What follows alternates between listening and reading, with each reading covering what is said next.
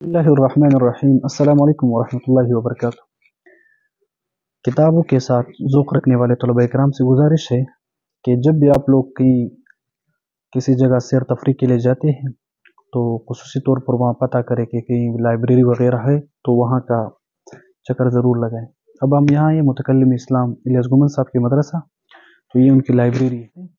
اور تفاصیر ماشاء اللہ بہت بڑے نایاب تفاصیر ہیں یہاں پہ، جو تقریباً کافی کم لوگوں کے پاس ہوں گے۔ تقریباً تفاصیر کی تعداد یہاں پر ایک سو چھہتر تفاصیر ہے اس کے علاوہ اگر دیکھ لیں یہاں پہ، تو جتنے آج کل موجودہ دور کوشن ملک پاکستان میں، جتنے بھی فرق باطلہ ہے ان تمام کے اصل جو نسخے کتاب ہے ان کے مخطوط ہے یا اسی طرح ان کی جتنے بھی کتب وغیرہ ہے وہ سب یہاں موجود ہے خصوصاً فرقہ مماتیت کے خلاف لکھی گئی کتابیں، یا اور ان کی اپنی لکھی ہوئی کتابیں۔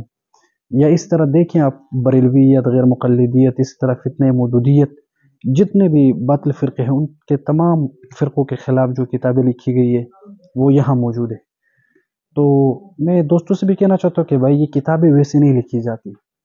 اور اس پر کسی نے ویسے اپنا وقت ضائع نہیں کیا ہوگا، بلکہ میرے اور آپ لوگوں کے لیے یہ کتاب لکھی گئی تاکہ ہم اس کو پڑھیں اور کچھ سیکھیں اور آگے لوگوں کو پہنچائے ہمارے طلبہ اکرام کی سب سے بڑی غلطی یہ ہوتی ہے کہ بھائی، ہم کتاب کو دیکھتے نہیں۔ اگر ہم دیکھ بھی لیں تو پھر ہم سمجھتے نہیں۔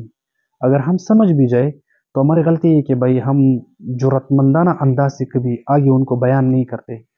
تو بنیادی چیز رسول اللہ صلی اللہ علیہ وسلم نے بھی فرمایا کہ بلغوا عنی ولو آیا چھوٹی سی بات بھی اگر دین کے حوالے سے ہو، کوئی قرآن مجید کی آیت ہو یا کسی بات الفرقہ کا عقیدہ ہو، وہ دنیا میں پہنچانا لوگوں کے کو لوگوں تک پہنچانا ضروری ہوتا ہے۔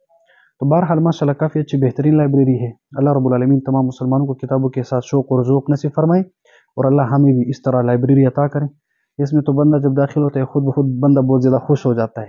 اتنے بڑی لائبریری، دنیا کے تمام نعمتوں سے سب سے بہترین نعمت جو ہے وہ لائبریری کی کتابوں کے ہوتے ہیں۔ اس لیے کہا جاتا ہے کہ بھائی، دنیا میں سب سے بہترین دوست جو ہوتا ہے وہ کتاب ہی ہے۔